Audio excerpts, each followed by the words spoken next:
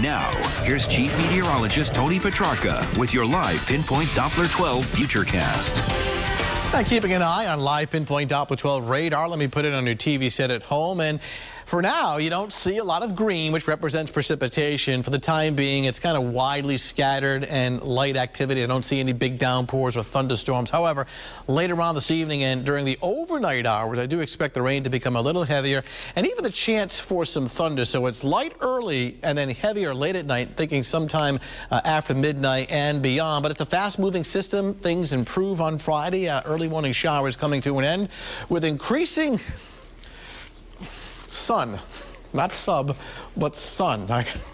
I, was typing too fast, but you get the idea. The sun's coming out tomorrow. Don't look for submarines, okay? Uh, a mostly dry weekend, even though we have the chance for a couple of showers both uh, Saturday and Sunday. Uh, neither day looks like a washout. A couple of raindrops in Providence right now. It's, it's cool, at least for the first day of August. Most locations now are in the uh, lower 70s as we widen out the view. You can see the system that we're tracking, the rain, stretches from northern New England through southern New England and offshore. I do expect uh, an enhanced area of rain offshore and some thunder to arrive uh, later on this evening. You can see the beginning of it uh, offshore right now, and that'll continue through the overnight. But again, it's winding down early tomorrow morning. Futurecast shows us very well. Watch the stamp right up in here, the timestamp. 7 o'clock this evening. Initially, it's just uh, kind of scattered and light. But watch what happens. 1 o'clock in the morning, it's a solid area of green, flecks of yellow and orange indicating downpours or perhaps a rumble of thunder. This is 3 o'clock in the morning. By 7 a.m., a few leftover showers. Then watch push it offshore. Things improve by 10 o'clock in the morning, increasing amounts of sunshine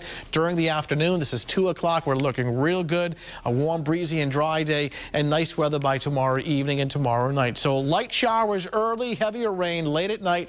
The temperature at 67. Any early morning showers ending, increasing amounts of sunshine tomorrow morning, 77. Looking great, warm and dry for your Friday afternoon with high temperatures topping out in the middle 80s. Seven-day outlook, we don't see any excessive heat on the seven Seven-day futurecast as far as 90 or higher. And again, the hour-by-hour -hour breakdown on Friday, an early morning shower at 70. You see the increasing amounts of sun, noontime 83, 4 o'clock in the afternoon. It is pretty warm at 85.